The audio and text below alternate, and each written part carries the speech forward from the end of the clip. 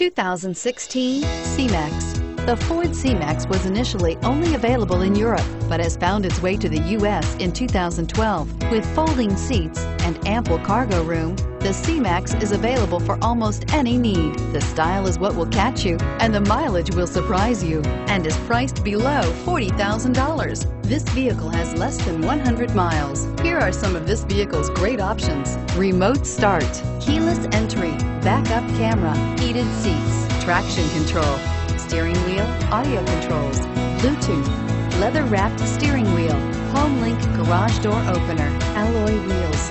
This beauty will make even your house keys jealous. Drive it today.